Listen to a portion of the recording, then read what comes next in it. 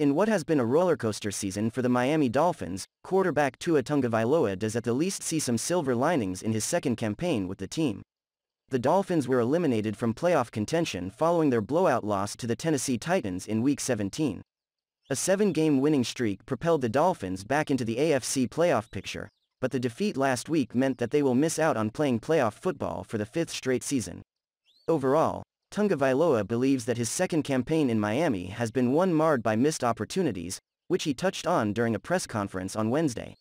It didn't go the way that I wanted it to go, Tagovailoa said. It didn't go the way that our team wanted it to go. It's tough when you have an opportunity and you don't capitalize on that opportunity. It's tough. At the least, the former Alabama Crimson Tide star does see that this season has been a fun one filled with learning lessons along the way. I would say it has been a fun season, Tagovailoa said.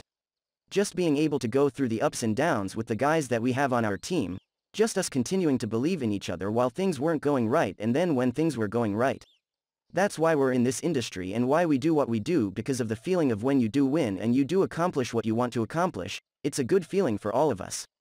Tagovailoa will feature for the Dolphins in their upcoming Week 18 home matchup against the New England Patriots. From there, Speculation surrounding his future with the team may once again emerge, especially as his name was often seen in the rumor mill ahead of this season NFL trade deadline.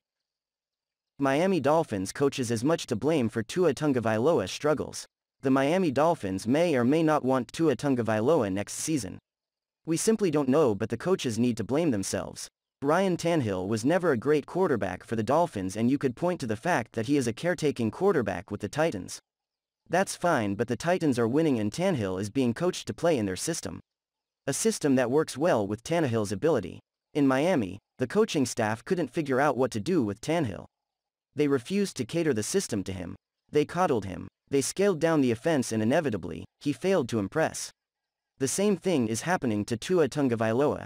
Tua is a good quarterback. Despite what some think, he can throw the deep pass. He is a lot like Drew Brees without the success. More the Chargers version of Drew Brees and far from the Saints version. I would venture to guess that if Tua was in New Orleans now, many fans would be wanting him in Miami. Miami coaching staff, and namely Brian Flores is to blame for this mess when it comes to Tua. He has failed to get him an offensive system that works. That blame falls on the head coach who has gone through three, four if you count the two this year, offensive coordinators since he arrived. He has gone through four offensive line coaches.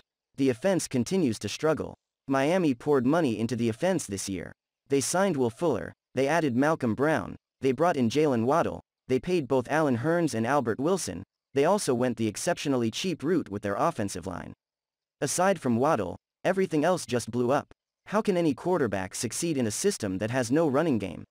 No consistent pass protection? Receivers who can't get open or consistent separation? How can any quarterback succeed when the offense is so predictable that if you take away one player, Waddle, there is not other game plan. Tua has his problems. I'm not a social media, Tua stan. I am aware that there are hiccups and issues in his game, I know he is far from perfect. I'm not making excuses. He needs to be far more assertive and in command of his offense but I also know that it really doesn't matter when you are being pulled off the field on fourth and short so the coaches can roll out a never was starting quarterback to dive into the line of scrimmage. Or is being pulled to run a wildcat formation that hasn't worked since 2008. Tua isn't set up to succeed in Miami and that isn't going to change with the addition of another quarterback. It won't open the playbook because if they haven't opened it yet, there is a problem with the coaches. Design a playbook that features your quarterback's abilities, not scale it down to hide his inabilities. In Miami, they simply are not doing him any favors.